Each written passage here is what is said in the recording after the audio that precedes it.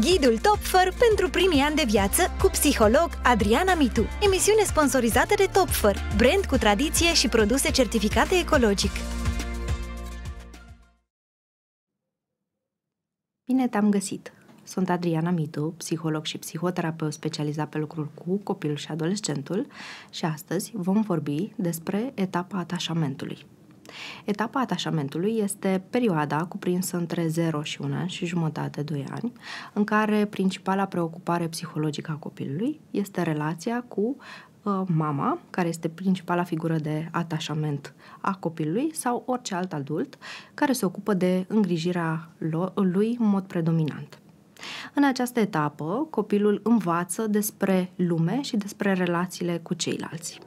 Atunci când părintele, în special mama, răspunde la nevoile fizice și emoționale ale copilului într-un mod consecvent, blând și prezent, copilul crește cu sentimentul că este într-un uh, spațiu sigur și lumea este un loc sigur, precum și că relațiile cu ceilalți sunt de încredere.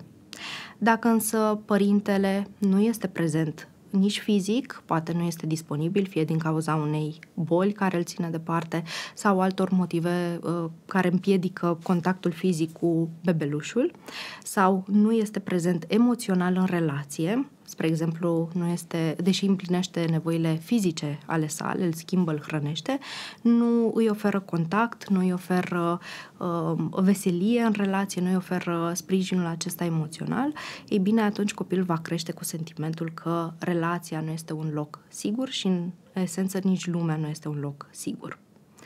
Tiparul de atașament care se stabilește în perioada 0-2 ani este cel care va fi propagat mai târziu de către copil în toate relațiile sale și la fel ca adult, acesta îl va folosi mai ales în relația de cuplu pe care o va avea cu partenerul sau partenera de viață. Acest lucru înseamnă că fie va avea un atașament sigur și va simți că relația este un spațiu în care să poată construi și în care să se poată simți în siguranță, fie va avea un tipar de atașament nesigur și va fi preocupat să îl țină aproape pe celălalt cu teama de a-l pierde, ceea ce înseamnă că va avea un atașament anxios ambivalent.